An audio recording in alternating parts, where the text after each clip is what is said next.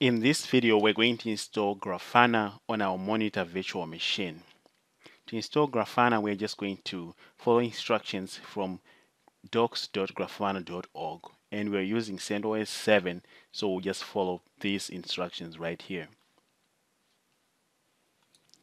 To make our life easier, we're just going to do the one command install, sudo yum install, then we'll go to the location from the Grafana RPMs and we just hit enter and this should go ahead and just get the latest Grafana that they have on the website.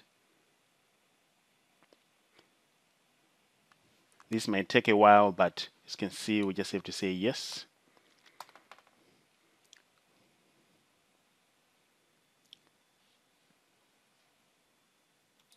And just like that, our Grafana just completed installing.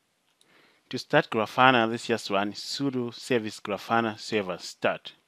Grafana runs on port 3000. So let's go ahead and see if Grafana is up and running.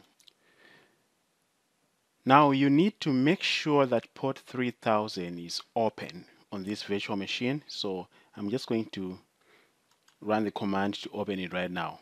So the first thing you need to do is firewall cmd zone equals public add port 3000 TCP and make sure that it says permanent. Then you just hit enter. So once you do that, you also want to reload the firewall by firewall cmd dash dash reload and you should be done.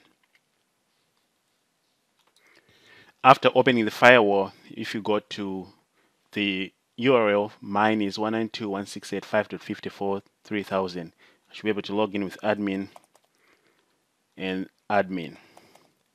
And it should ask me to change it. As you can see I'm finally in and it did not ask me to change it last time it did. But anyway this is how we install Grafana. Now we know we have Grafana and we also have InfluxDB installed. In the next video I'm going to show you how to set up Telegraf